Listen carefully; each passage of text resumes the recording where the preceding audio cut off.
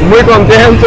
eh, muy muy contento, pero este gol es de todo el equipo, de todo el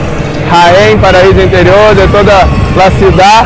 Eh, eh, solo agradecer a todo el equipo, a toda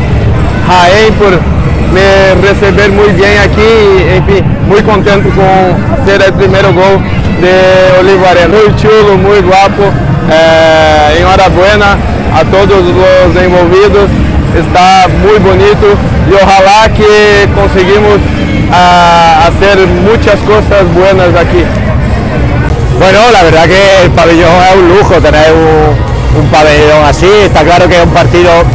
diferente, las circunstancias de la fecha, mucha gente de vacaciones, eh, bueno, pero bueno, se, ha inaugurado que era lo que se pretendía, ya hemos visto que la instalación está en perfectas condiciones para, bueno, para poder disfrutarla el año que viene en primera y bueno, y ojalá pues podamos vivir aquí eh, mucha alegría, igual que lo hemos vivido en la, en la Salobreja.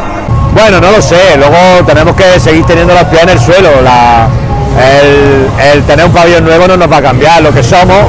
las limitaciones que tenemos y, bueno, y también la, las cosas buenas que tenemos. Pero bueno, en cierta manera es verdad que es una, un aliciente más para una temporada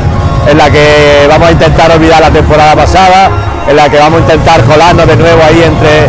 esos ocho primeros que son los, los que un poco disfrutan de,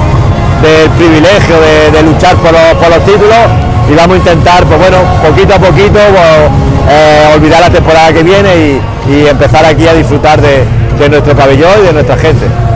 Pues con mucha envidia de no haber podido jugar, ver a, los compañeros en, en, un pabellón como este ha sido, ha sido muy bonito creo que son unas instalaciones espectaculares y bueno, espero que lo disfrutemos todos y que,